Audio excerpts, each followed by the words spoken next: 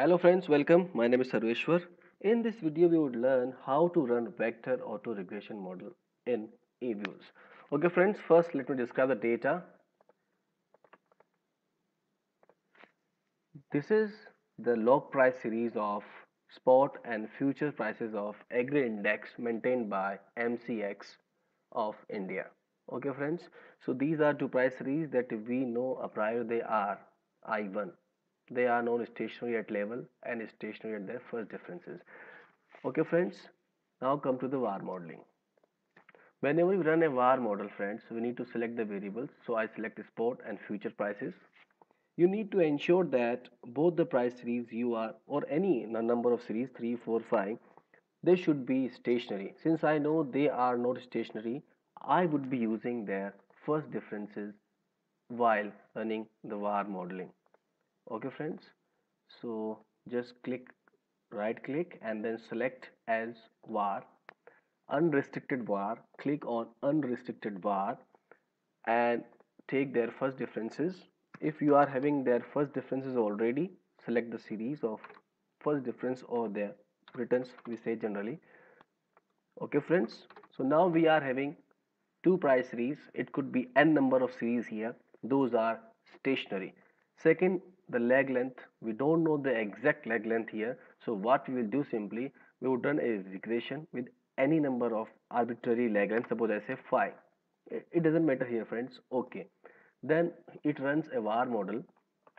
So first we need to decide an appropriate optimal lag length that we choose by AIC or BIC criteria. So how to do that? You go to view. After estimating the VAR model, you go to view tab here friends you go to view tab here and click ok.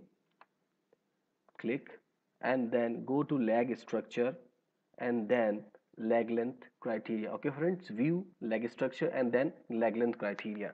Here you can put again arbitrary number so up to which lag you want to consider. So i say 30 okay friends these are different criteria we, we use. So from SIC and AIC these are the mostly used. SIC says one lag length and AIC says seven lag length. So you can choose any. So I am choosing AIC because it is mostly used criteria. So I say the lag length is 7 so now we go to estimate again and just change the lag length 1 to 7 okay friends it's lag length from 1 to 7 all intercept I have taken here if you are having other variables like dummy variables or other uh, exogenous variable you could include them here. But here we are not having them. So simply we have clicked on unrestricted var and then difference of the series to make them stationary and the appropriate lag and intercept in the model. You could put trend here. You could choose any other dummy variable here also or some other variables as well and this is the sample size you could also change it if you want to do it for forecasting purpose and then click OK. Now we have the estimated VAR model and their coefficient. So the simple interpretation is not possible but just to like rule of thumb what we say if this square bracket shows us the t statistics if it is more than 1.96 that is 95% confidence interval value uh, if it is more than 1.96 positive negative doesn't matter. So we say that lag is important. That lag is having significant impact on dependent variable.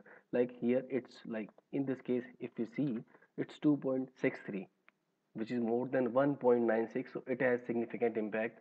And similarly but here it's not more than that 0.42 so it is not having a significant impact.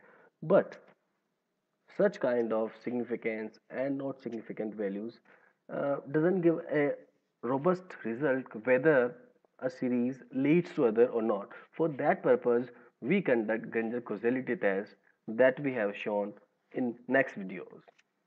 So in this reference, we could run VAR model in eViews.